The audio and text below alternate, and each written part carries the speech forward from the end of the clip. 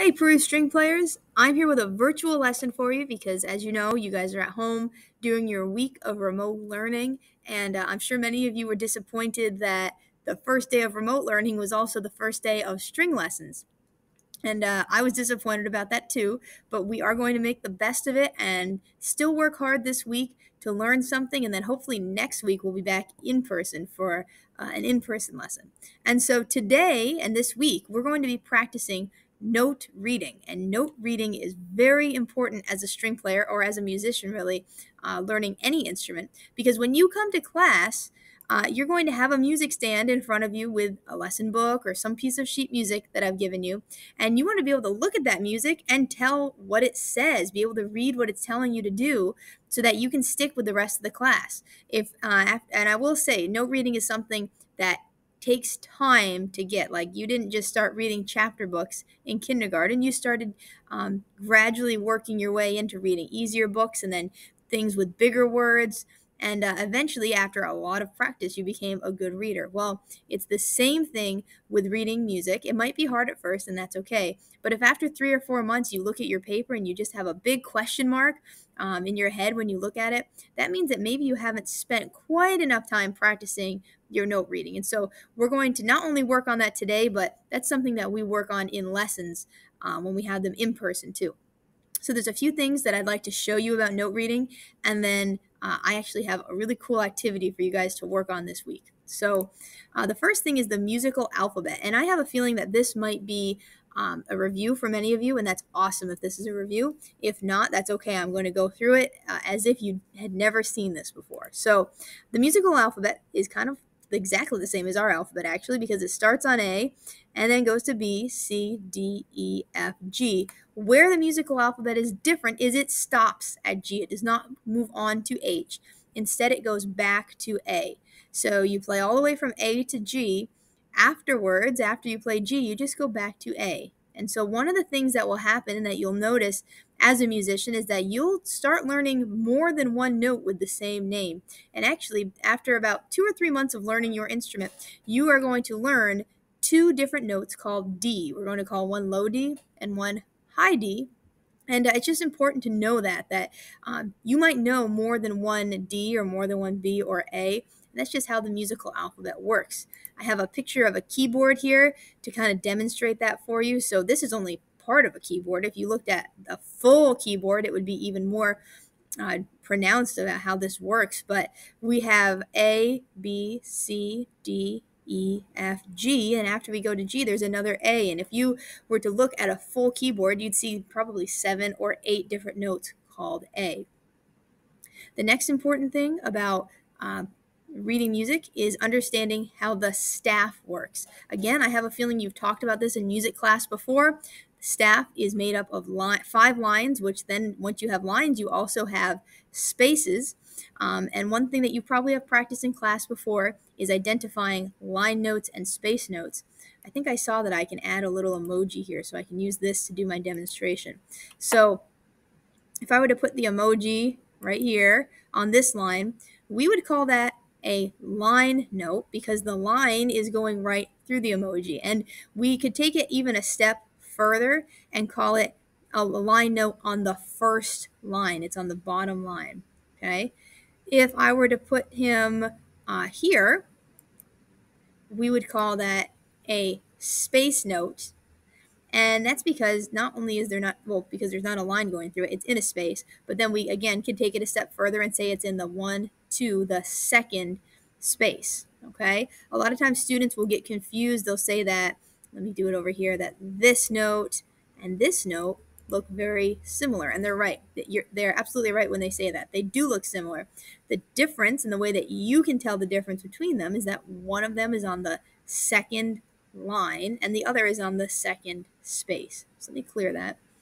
Um, the staff does not tell you what note you're playing. It will eventually, but you have to add something. But right now, as it is, if I put a note here, I have no clue what note that is until I add the next thing. And that next thing is something called a clef.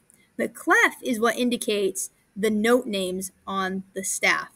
And as string players, there are three different clefs that our string instruments learn, but you will only have to learn one, which should be a relief that you only have to know how to read one clef. Here's our three clefs. Treble clef over here is what our violin students will read. Bass, you can probably guess, is for the bass, but also it's for the cello.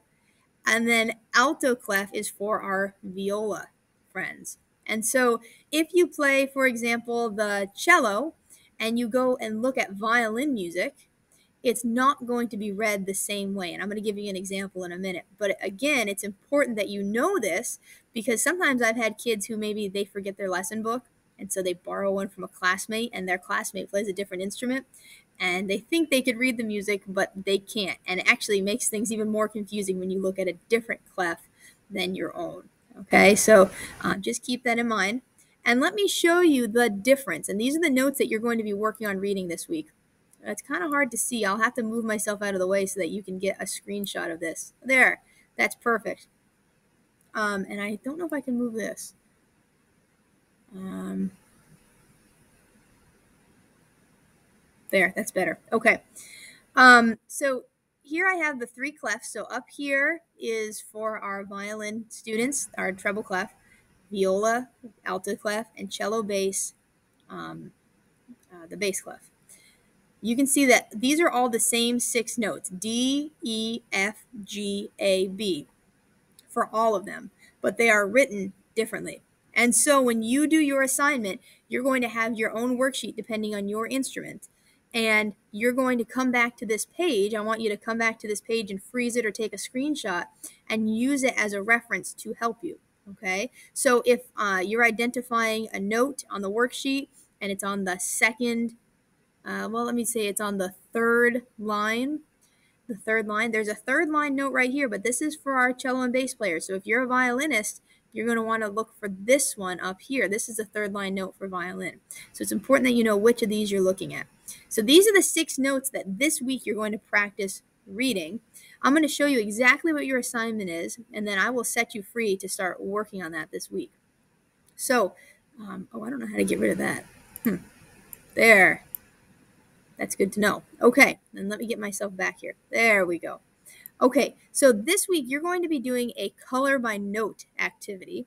Um, this, I don't know that it really exists, so I made one for you, and hopefully you'll find this fun.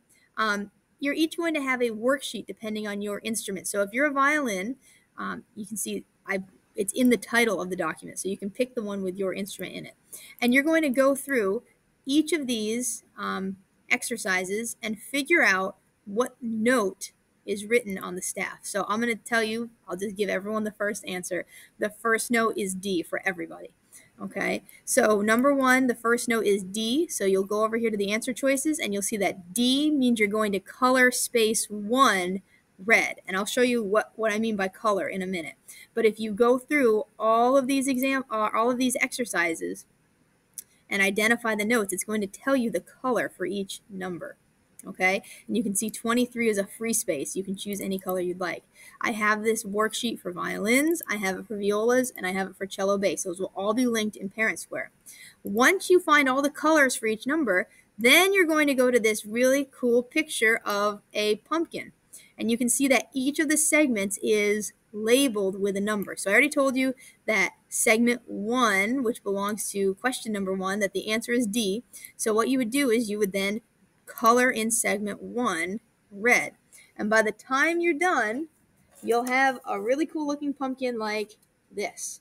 Okay, so what I'd like you to do is this week practice that note reading, fill out the worksheet, color in the pumpkin, and then if you bring your pumpkin back next week, um, I'll hang it up on the on the wall, and we'll get to show everyone your note reading skills. The cool thing is everyone's pumpkin will be a little bit unique because the 23 spot will be different for everybody. I colored mine purple. You can pick a different color, so there will be a something unique on everyone's pumpkin, which I think is cool. So, if you have any questions while you're doing this, you can send me an email or you can have mom and dad send me an email. Um, but I'm looking forward to seeing how you guys do with note reading and checking out your pumpkins when you come to your lesson next week. So, have a great week, everyone, and uh, good luck with that note reading.